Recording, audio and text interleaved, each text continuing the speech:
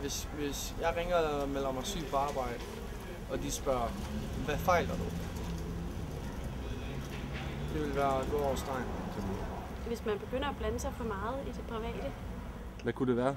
ens privatliv. I forhold til sygdom, der synes jeg, det er okay. Men i forhold til personlige problemer, der, der synes jeg, at man skal være varsom med, hvor langt man vil gå som arbejdsgiver.